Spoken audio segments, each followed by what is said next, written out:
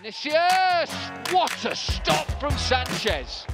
Obviously, this is what I've been working my whole life for, you know. Um, since I was a kid, since uh, I came into the first team, going on loan, League Two, League One, and so it's it's the best feeling, you know. Like uh, I cannot really explain it, but it's like the best feeling in the world.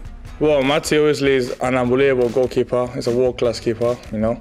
That's why the move he got as well, and on to Arsenal now. But um, as being bigger than, than Maty, or respect as well, uh, I think obviously I got more power in different aspects. Could be cross taking, you know, uh, could be getting more distance on the ball. And obviously, as being young, uh, I don't really have pressure when I play, so I play really free.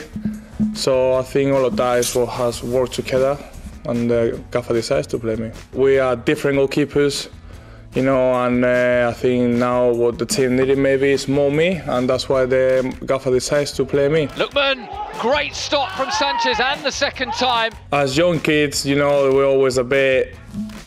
We need to mature a bit more, so it was all about getting my mind settled, you know, uh, about being uh, reliable to be able to play every game and not have those ups and downs which younger kids have.